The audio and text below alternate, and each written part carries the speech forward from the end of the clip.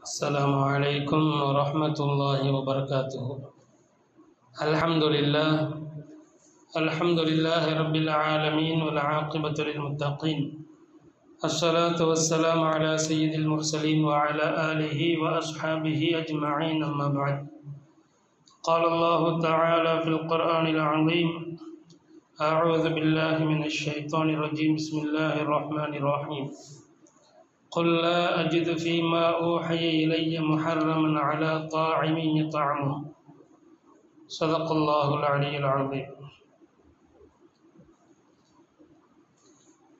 நமக்கேற்றவை அனைத்தையும் கொடுத்து தன்னுடைய அருளோடு அரவணைத்து தனக்கே உரிய முறையில் அரிசிலிருந்து ஆட்சி புரிகிற அல்லாஹ் ஒருவனுக்கே அனைத்து புகழும் அல்லாஹுவின் அன்பும் வற்றாத கருணையும் நம் உயிரிலும் மேலான கண்மணி முகமது முஸ்தபா சல்லல்லாஹு அலைஹி வஸல்லம் அன்னவர்கள் மீதும் அன்னாரது பரிசுத்த குடும்பத்தினர்கள் கண்ணிமிகு தோழர்கள் தாபியன்கள் தபா தாபியன்கள் நல்லோர்கள் நம் அனைவரின் மீதும் எல்லா காலமும் நிறைவாக நிலையாக நிலவட்டமாக. ஆமீன். கண்ணிமிக்க சகோதரர்களே மார்க்கம் எந்த விஷயங்களை எல்லாம் நமக்கு கட்டாய கடமையாக ஆக்கியிருக்கிறதோ அவைகளை விடாமல் கடைபிடித்து வருவதற்கும் எந்த விஷயங்களை எல்லாம் தடுத்திருக்கிறதோ அவைகளை விட்டும் விலகி பரிசுத்தமான வாழ்க்கை வாழ்வதற்கும் நம் அனைவருக்கும் அல்லாஹ் நல்லுதவி செய்வானாக. ஆமீன். கண்ணிமிக்கவர்களே அல்லாஹும் ரசூலும் எந்த விஷயங்களை நமக்கு ஆகமாக ஆக்கியிருக்கிறார்களோ அது மிகவும் பரிசுத்தமானது தான் எவைகளை விட்டும் தடுத்திருக்கிறார்களோ அது நமக்கு உகந்தது அல்ல என்று அதை ஒதுக்கி வாழ வேண்டும். ஹலால் இந்த ஹலாலின் நாம் கடைபிடிப்பதின் மூலமாக இம்மை மறுமையினுடைய லாபத்தை அடைந்து கொள்ள முடிகிறது. ஹலாலான ரிசுக்கு ஆகாரம் உள்ளே போகும்போது வெளிப்படக்கூடிய செயல்பாடுகளும் நல்லதாக அமைந்து விடுகிறது. இப்போ எதிர்காலம் சிறப்பாக அமைவதற்கு ஹலாலை மிகவும் பேணுதலோடு கடைபிடிப்பது அவசியமாக இருக்கிறது. நபி சொல்லாஹு அலஹி வசல்லம் அவங்க சொல்லுகிற போது அல்லாஹு சுபஹானு தாலா சில கட்டளைகளை செய்யும்படி சொல்லியிருக்கிறான். அவைகளை புறக்கணிக்காதீர்கள். சில விஷயங்களை தடை செய்திருக்கிறான். அவைகளில் வரம்பு மீறாதீர்கள். சில வரையறைகளை வைத்திருக்கிறான். அது விஷயத்தில் நீங்கள் பொடுபோக்காக இருந்து விடாதீர்கள். அந்த வரையறைகளை மீறி விடாதீர்கள். சில விஷயங்களில் அல்லாஹ் மௌனமாக இருக்கிறான். அதை துருவி துருவி கேட்காதீர்கள்னு சொல்லி நபி சொல்லாஹ் அலஹி வசல்லம் அவங்க சொல்லியிருக்கிறாங்க. அல்லாஹுடைய கட்டளை எது நமக்கு ஆகும் என்று கட்டளையிட்டிருக்கிறானோ அது விஷயத்தில் கவனமாக இருந்து புறக்கணிக்காமல் இருக்க வேண்டும். அதே போல தடை செய்த விஷயத்தில் அது நம்மிடம் வந்துவிடாமல் இருப்பதில் கவனமாக இருக்க வேண்டும். சந்தேகத்திற்குரிய விஷயங்களில் நாம் ஆய்வு செய்து அதை நமக்கு ஹலாலாக இருக்கும் பட்சத்தில் எடுத்துக்கொள்வதற்கும் அது அது ஹராமுக்கு நெருக்கமாக இருந்தால் அதை விட்டும் தவிர்ந்திருப்பதும் அவசியமாக இருக்கிறது. பொதுவாகவே சந்தேகம் என்று வந்துவிட்டாலே அதில் விட்டும் தவிர்ந்திருப்பது மிகவும் ஏற்றமானதாக இருக்கிறது. அப்படி அவைகளை மிகவும் பேணுதலாக இருக்கிற போது எதிர்காலம் பிரகாசமாக அமையும். குறிப்பாக நம்முடைய சந்ததிகளுடைய விஷயத்தில் அவர்களுக்கு ஹலாலை தேர்ந்தெடுத்து வழங்குவக்கூடிய விஷயத்தில் நாம் மிக எச்சரிக்கையோடு இருக்க வேண்டும்.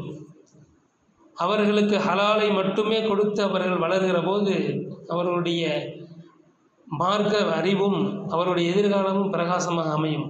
அபு அப்துல்லா அல் ஜோஹனி ரஹமத்துல்லாஹி அழகி அவங்க அவங்களுடைய விஷயத்தை பற்றி சொல்கிறாங்க அபு அப்துல்லா அல் ஜுஹனி அவங்க வந்து இமாமுல் ஹரமைன்.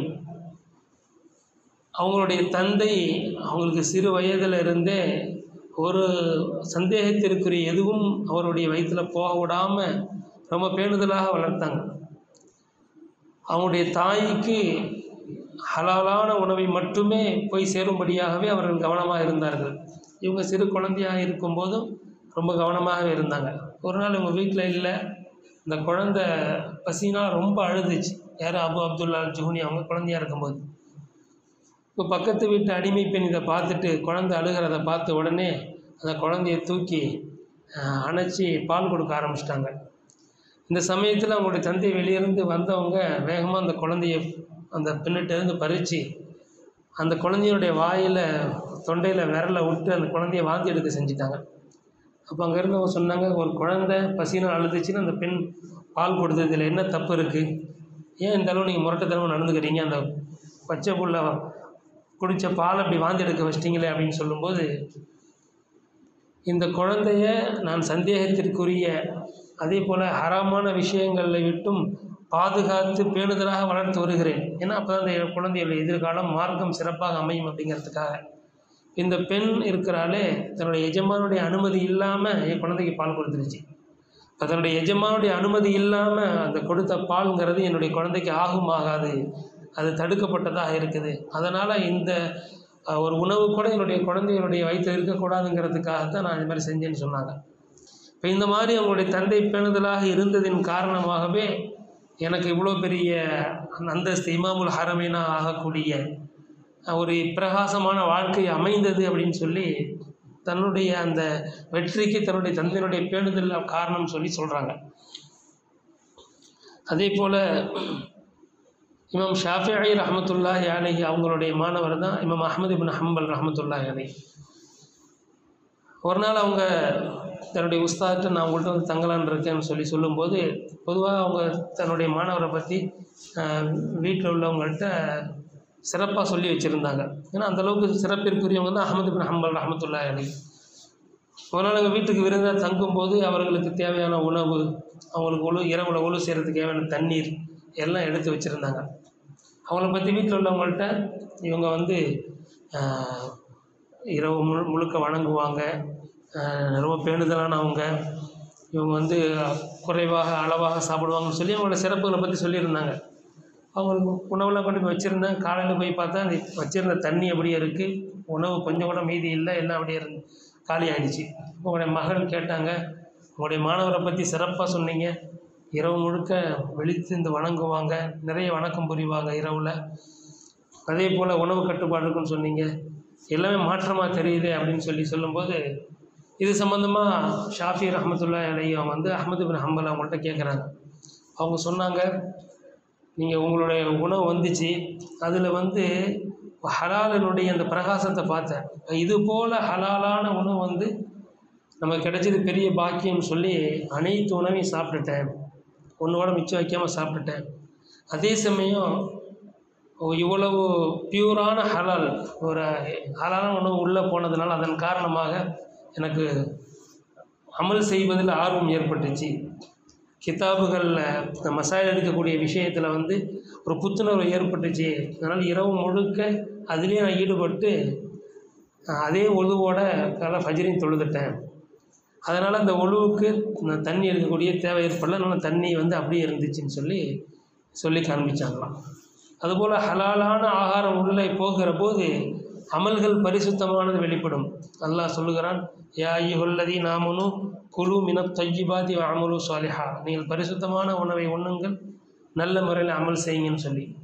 இப்போ பரிசுத்தமான உணவை உள்கொள்கிற போது பரி நல்ல அமல்கள் சாலிஹான அமல்கள் வெளிப்படக்கூடியதாக இருக்குது துல்ஃபிகார் அகமது சாஹிப் அவங்க வந்து தன்னுடைய கித்தாபில் எழுதுகிற போது ஒரே சமயத்தில் ரெண்டு பேரை கொண்டு போய் மதரசாவில் குரானை மரணம் செய்வதற்காக அனுப்புகிறாங்க ரெண்டு பேருமே நல்ல புத்தி கூர்மை உள்ளவங்க தான். ஆனால் ஒருத்தருடைய அந்த மரணம் வேகமாக இருக்குது. ஒரு வருஷம் முடிஞ்சிருச்சு ஒரு பத்து ஜிசு மனப்பாடம் பண்ணிட்டாரு. இன்னொருவர் அதில் பாதி கூட மனப்பாடம் பண்ணலை. இப்போ இது சம்மந்தமாக ஏன் அவர் மட்டும் ரெண்டு பேருமே புத்தி கூர்மையானவங்க தான்? அவருடைய அயல்மில் பிரகாசம் ஏற்படலை. அவருடைய விஷயத்தில் வந்து அவர் கொஞ்சம் மந்தமாக இருந்தார். காரணம் என்ன அப்படின்னு விசாரிக்கும் போது அவர் வந்து கடையில் உள்ள தின்பண்டங்களை வந்து விரும்பி வெளியே வாங்கி சாப்பிடக்கூடிய ஒரு நிலை ஒரு பழக்கம் இருந்துச்சு அவர்கிட்ட அப்படின்னு சொல்லி சொல்லி காமிச்சாங்க. இப்போ பேணுதல் இப்போ கடையில் கிடைக்கிறது ஃபுல்லாக தடுக்கப்பட்டது என்பதல்ல. ஒரு ஓதக்கூடிய இல்மை கற்கக்கூடியவருக்கு வந்து அதிலிருந்தும் பேணுதலாக இருக்கிற போது இன்னும் இல்மையில பிரகாசமாக பிரகாசம் உண்டாகிறது என்பதை சுட்டி காட்டினார்கள் இதுபோல் உள்ளே செல்லக்கூடிய அந்த ஆகாரம் இருக்கிறதே அது பரிசுத்தமாக இருக்கும் பட்சத்தில் அவருடைய மார்க்க ஞானமும் அமலும் பிரகாசமாக அமையும் என்பதில் எந்த விதமான சந்தேகமும் இல்லை. அத்தகைய நல்ல பரிசுத்தமான வாழ்க்கை வாழ்வதற்கு அல்லாஹ் நம் அனைவருக்கும் நல்லுதவி செய்யுமானாக. ஆமீன்.